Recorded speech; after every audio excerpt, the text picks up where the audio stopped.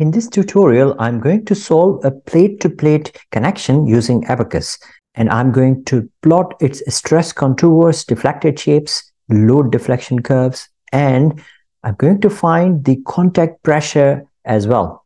Plate-to-plate -plate connections are used in cars, in aerospace industry, and they are used in civil engineering as well. This is a plate-to-plate -plate joint. Top and bottom plates are aluminum plates we have a rivet which is titanium. This is the problem which I'm going to solve today. It's been taken from Abaqus documentation, which is here.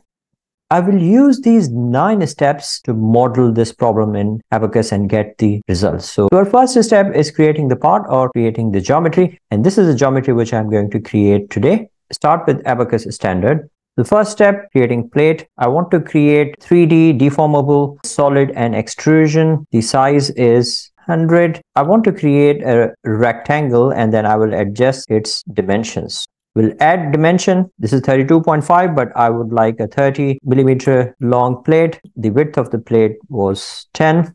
Click done and the depth is 1.5 millimeter. You'll be able to see this plate. Now I want to create a bolt hole over here. Simply click on extrude cut. Click this surface this side is on the right side. Click on circle and click anywhere on this line. I'm clicking over here. Press cancel to cancel the procedure. I want to create a dimension between this point and this point. This is 7.5 and the radius of bolt hole is 2.5 click ok and here the radius is 2.5 click ok and then cancel the procedure. We are done with extrusion and then simply click OK, it will create a bolt hole. The next thing I want to do is I want to create a rivet. I will use this geometry to create a rivet. Go to parts again, create a new part, rivet. This time I want to create a solid part with revolution. The dimension which I will use is 20. Starting with the line,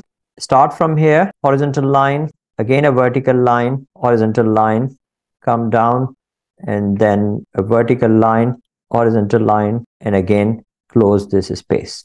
Now these two lines, H, H, they are of equal length and these lines, they are of equal length as well. So let us apply this constraint, equal length. You have to press shift and click these two lines. Click on done. You can see now they are of equal length. Press shift key and then click these two lines and done. These two lines are of equal length now. I would like to have a look at the geometry. I have 2.5 over here, 3, 1.5 and 4.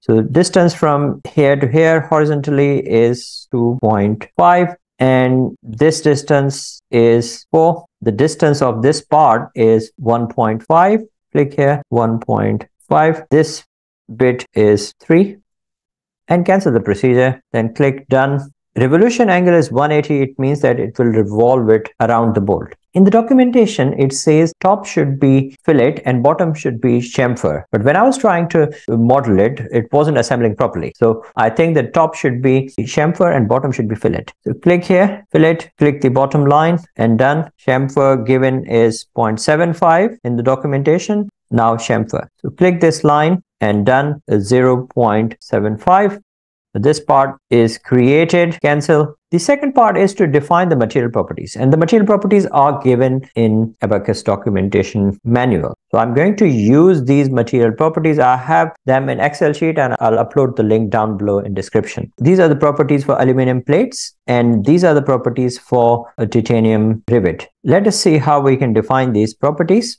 Let's first of all define aluminum. Go to materials First, I want to define the elastic properties. Elastic properties are 71700 and Poisson's ratio was 0.33 and this is the yield stress and yield strain. So I will copy this data and simply I will define mechanical plasticity and plastic. Simply I will copy this data over here, click or write, aluminum has been defined. Next thing I want to do, I want to define the titanium properties and the modulus of elasticity, I will copy this from this Excel sheet, click on material, titanium, mechanical elasticity, elastic properties, modulus of elasticity, Poisson's ratio is 0.34. Click all right. Then I want to define its yield stress and yield strain. These are the properties which I've taken from Abaqus documentation manual. I go to titanium and mechanical and plasticity, define these plastic properties and click OK. Now I will assign those section properties to the sections. So click on sections and create say plate section, homogeneous, click OK. And I want to use aluminium and I want to define the rivet section and I will create titanium, click OK. And here I will assign the section, click on plate, section assignment, click this and assign plate section. And for rivet, click on section, click here and assign rivet section. So I've defined materials, I've assigned the section. Next is assembly. And I want to assemble the plates in a way that the part on my right side is the movable one, part on the left side is fixed one. And the direction of arrows will be like this. Go to assembly, instances. First, I will define first section. Then I will create another instance, auto offset. I have to create this constraint face to face. Back face of the section on right is the movable one and back face of the section on left is the fixed one. Go to constraint face to face this is movable section. This is fixed section. So let's flip the direction. Distance is zero. Now you can see that these two faces are face to face. The next constraint I want to define is parallel edge. Again, my movable instance will be one on the right and one on the left is the fixed one. So click on constraint and parallel edge. Movable edge is this one. Fixed edge is this one. The next constraint I want to define is coaxial. So go to constraint, coaxial, choose underside of the bolt hole of movable one and choose the fixed one. They should go in the same direction, I believe. And now you can see plate to plate. I call the first plate as the top one and I call the second plate as the bottom plate. And then I will create a rivet section. I will apply this constraint coaxial and the direction of arrows should be like this. Click on constraint, coaxial, movable one, and I will choose the bottom one. Let's see if direction of arrows is like that. Yes. Click OK. Now you can see that section has been assembled and the fillet portion is at the top and chamfer is at the bottom. But when I was defining it in parts, I defined the top one as chamfer and bottom one as fillet. In the documentation, obviously it says the other way around, but it doesn't work in, in reality. The next step is to define the geometry sets. And I will define a corner, I will define fix, pull, and sim. Go to sets. So first I want to define corner. I will use this corner, this node to remove rigid body motion from the model. And then I will define fix set. This is where I'm going to fix the plate. So I'm going to fix the bottom plate. This is my bottom plate.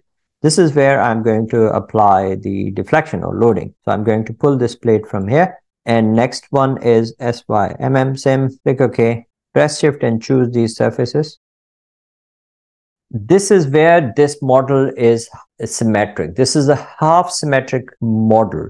Just to save computational time, we are modeling it as half symmetric. It means that out of the plane, deformations are not happening. And then I, I, will define one node over here as well. That will be my deflection point. So I will call it DEFL. This will help me when I will plot the deflection. Once I've done it, my sets are defined. Then I will move to the next step. The next step is defining a step. So I will define initial step. After initial step, I want to define one static general step with nonlinear geometry on and with incrementation. I want to have increment of 0.05, the initial increment, and then click OK. Next, I want to define the interaction properties, and then I will define a general contact interaction properties. Here I will define FIRC, fric, click continue, and mechanical tangential behavior. Here the friction formulation is penalty and coefficient of friction is 0.05. Once the property has been assigned, then I will go to initial and then click on interaction. Here I will say all and general contact all with self. What it will do, it will find out the interaction between different components without the need of specifying the contact pair. So it will simplify the analysis quite a lot. and then global frictional property is fric and then click OK. This has been defined now. The next thing is boundary conditions. So fix pull I'm going to pull this by 2.5 millimeter and the symmetry and rigid boundary conditions. I will define these boundary conditions. The first one is pull. So pull one displacement, uh, click continue. Here I want to define pull set highlight in the viewport. I want to displace this by 2.5 millimeter. You can see that the loading has been applied. And the next one is symmetry, continue. And then I want to choose this symmetry surface, click OK. I want to reduce the out of the plane deformation. So it is symmetric in Y direction or U2 direction. This has been assigned. I want to fix the bottom plate. Click or right. The bottom plate U1 should be zero at bottom plate.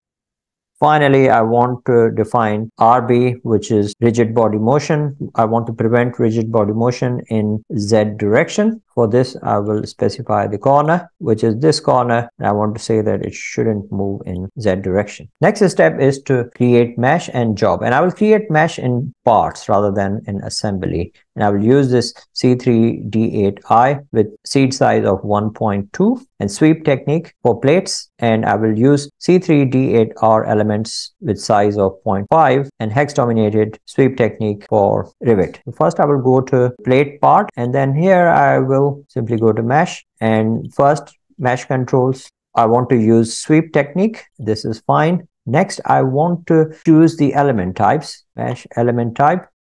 Here, I want to use incompatible modes. So C3D8I, click OK. And then I want to seed the part with 1.2 size. Click all right and then mesh part. This will mesh the part for me. Then I will click on rivet. I'll go to mesh. First, controls. Here, I will create a mesh sweep technique, but hexagonal dominated technique. In that way, some parts which can't be modeled using brick elements, they will model using wedge elements. And element type, I want to use reduced integration elements, C3D8R, and then I want to seed the part, seed the part with 0.5, click OK, and then I want to mesh the part. If you wanted to see mesh over here, it will simply look like this. And then next step is to define the job. I will define the job as lap underscore joint. Click OK. One thing which is really very important is to define the working directory. So I want to set the working directory so that all my files are saved in that working directory. And then I will save the model as well. I should have actually saved it earlier. So this is my working directory now. Once I've done everything, I think the next thing is to submit the job and right click monitor. It will ensure that whatever is happening inside the model, it will show me step by step process. Remember my initial increment was 0.05. So it will try to start with 0.05. If the analysis is stable, then it might increase the increment.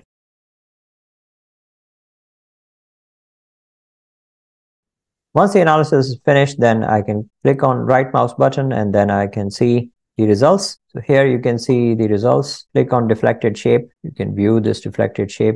Click on stress contours. It will give you stress contours. Then I would like to show you the path. So I want to see the contact pressure at the top plate. Click on path edge list path one continue and here I would like to have the top plate and I want to add after replace selected so I just want to see this instance click done top plate add after and here I want to add it by shortest distance. So I will click on this bottom point and then I will click on this bottom point. The entire path has been uh, chosen. And then on this bolt hole i want to see that how much pressure it is developing as a result of tensile load application. Then click on xy data and then path continue. And here i want to see the field output which is c press means contact pressure and plot and contact pressure you will see that it compares well in documentation manual and then I want to create load deflection curve. The first thing I want to do, I want to go to ODB field output and unique nodal.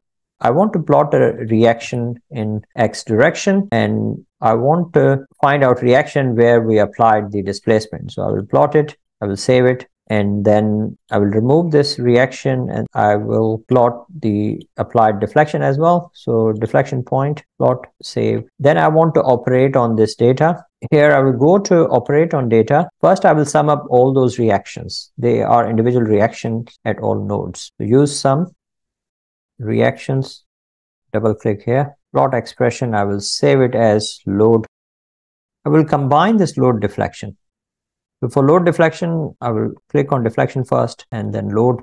Because this model was a half symmetric model, the loading which is taken by the model is half. At this point, I have to multiply load by 2 so that I know that full model is going to take double the load which half model is taking. So multiplying load with 2 and plot the expression. This will give me save as load deflection. In that way, you can see that I have plotted load deflection curve for this model as well. Thanks for watching this lecture today and I will see you in my next lecture. Keep watching. Click on this side of the screen to watch buckling analysis of columns using Abaqus. Click on this side of the screen to watch full playlist on finite element modeling using Abaqus.